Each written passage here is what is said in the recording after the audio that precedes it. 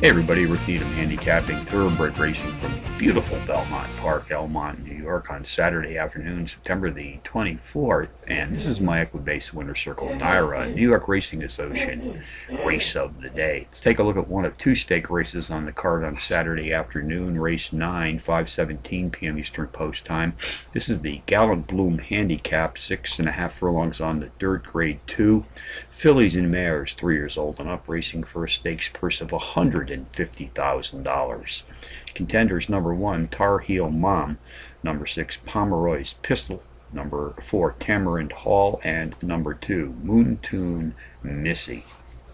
Just for my for your information department, Gallant Bloom was a two-year-old filly champion in 1968.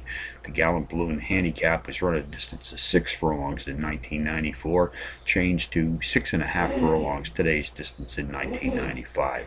Here in the 18th renewal of this graded stakes event, number one Tar Heel Mom drops in class by six units to enter today's graded stakes test.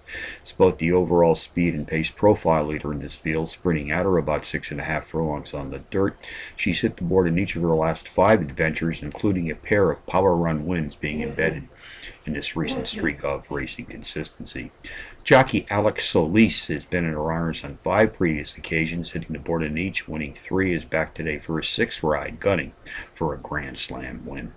Number six, Pomeroy's Pistol has hit the board in four of her last five, winning in her third race back. She's coming off back-to-back power run board hits in her last two starts. Race 9 summary number 1 Tar Heel Mom tops the contenders list which also includes number 6 Pomeroy's Pistol, number 4 Tamarind Hall and number 2 Moonshine Missy 1642 in the ninth from Belmont the $150,000 Gallant Bloom handicap. Bonus long shots Woodbine race 5 the 8 to 1 shot number 12 Silent Forest drops in class by four Trackmaster units. Nice overall speed for this five and a half furlong sprint.